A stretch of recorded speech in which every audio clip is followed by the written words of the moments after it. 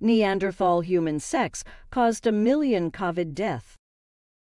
About 60,000 years ago, a human had a sexual encounter with a Neanderthal. Now, a genetic scientist has claimed that this single sexual act caused the deaths of up to a million people during the COVID 19 pandemic. As of June 12, 2022, 1226 GMT, the coronavirus COVID 19 outbreak had killed 6,331,211 people. Now, an English scientist has published research into the effect of the genetic differences between the lungs of COVID sufferers. His results, published in Nature Genetics, suggested that just one single romantic liaison, about 60,000 years ago, between a Neanderthal and a human, caused up to a million deaths during the recent pandemic. While you've heard the word genes a thousand times, do you know what a gene actually is? According to MedlinePlus, genes are made up of DNA and represent the basic physical and functional unit of heredity. The microcosmic mysteries were greatly taken away from genes when an international research effort called the Human Genome Project determined the sequence of the human genome's 3.2 billion letters of DNA revealing humans have between 20,000 and 25,000 different genes encoded with ancestral data. At the recent Cheltenham Science Festival, Professor James Davies, Associate Professor of Genomics at Oxford University's Radcliffe Department of Medicine, said one of these genes, LZTFL1, caused a common genetic quirk that makes lungs susceptible to infection.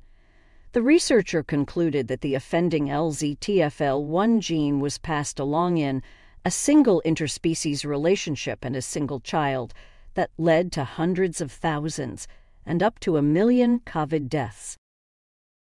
LZTFL1 causes cells to produce too much of a certain protein on the surface of some people's lungs.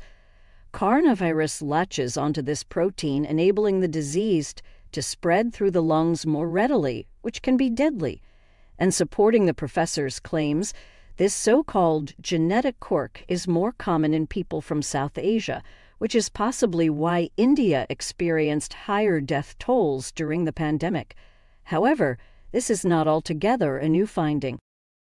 Last February, I wrote an Ancient Origins news feature about a team of scientists who in 2020 claimed that they had discovered a Neanderthal COVID gene which decreased our ability to fight the virus SARS CoV 2 that causes COVID 19. These scientists from Japan's Okinawa Institute of Science and Technology Graduate University, OIST, and the Max Planck Institute for Evolutionary Biology in Germany found that interbreeding between modern humans and Neanderthals meant we inherited the gene around 60,000 years ago they concluded that people with this lung weakening gene are up to three times more likely to need ventilation if they catch the virus.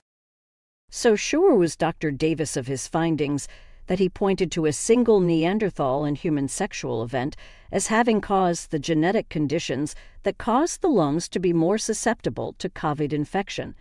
And if this one sexual liaison had not occurred, up to a million people might not have died from COVID according to the researchers. This is not just romantic speculation.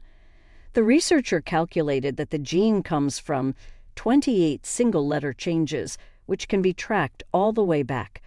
Thus, he concluded that the gene came from a single event. Speaking of the sexual liaison, Professor Simon Underdown, a biological anthropologist at Oxford Brookes University, told the Science Festival that Neanderthal groups were widely dispersed and only comprised around 20 to 25 individuals. He agrees that it was a single sexual liaison that led to many modern humans having bad reactions to severe forms of COVID. However, he highlighted how remarkable it was that a Neanderthal should meet a Homo sapiens and have a one off sexual encounter that created the COVID weakening pulmonary gene in modern humans.